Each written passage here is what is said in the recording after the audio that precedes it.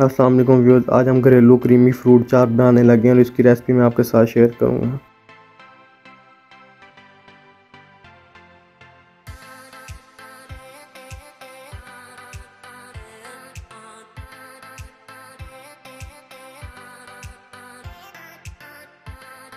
तीन सेज जिसको हमने ब्रेक ब्रेक काट लिया है। एक आम जिसको हमने छिलका काट के उतार लिया तीन केले जिसको हमने ब्रेक पे काट लिया तीन चम्मच चीनी। एक छोटा बाउल अंगूर। एक छोटा बाउल दही का। थोड़े से बादाम। एक छोटा बाउल मलाई का। चंद खजूरें ब्रेक ब्रेक काट ली हैं। Half teaspoon chaat masala. काजू थोड़े से ब्रेक ब्रेक काट लिए हैं। एक बाउल में एक छोटा बाउल मलाई का डाल दें।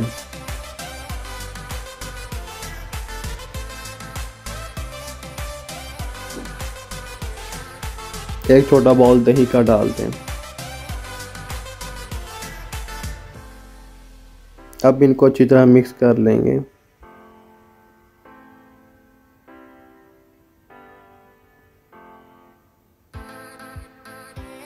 अब इसमें तीन चम्मच चीनी डालेंगे।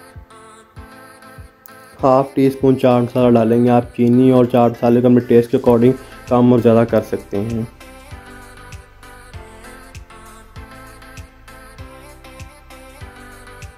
अब इन सब चीज़ों को अच्छी तरह मिक्स कर लेते हैं।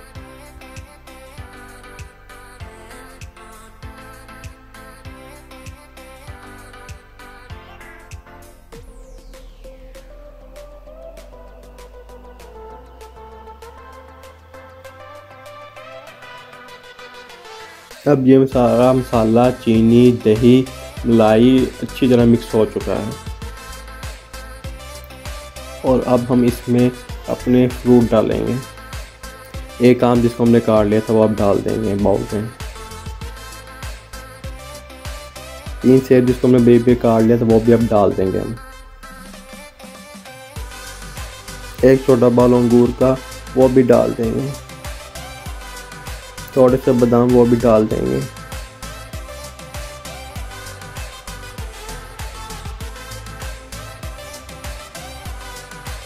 चंद खजूरें जिसको हमने ब्रेक भी कर लिया था, वो भी डाल देंगे। थोड़े से काजू जिसको हमने ब्रेक भी कर लिया था, वो भी डाल देंगे।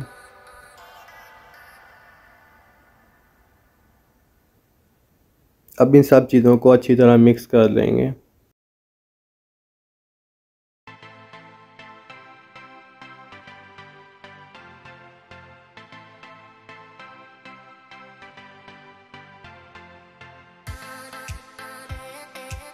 तीन केले जिसको हमने बरीब पे काट लिया था और ये हम डालना भूल गए थे और अब हम इसको डालेंगे।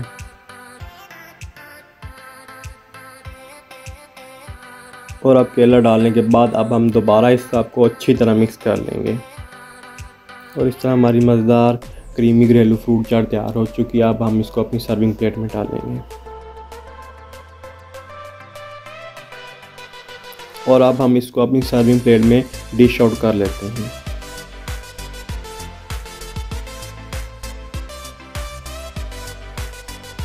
अब हमारी मज़ा घरेलू क्रीमी फ्रूट चार तैयार हो चुका है जिसने हमारे चैनल को सब्सक्राइब नहीं कहा सब्सक्राइब करने शुक्रिया।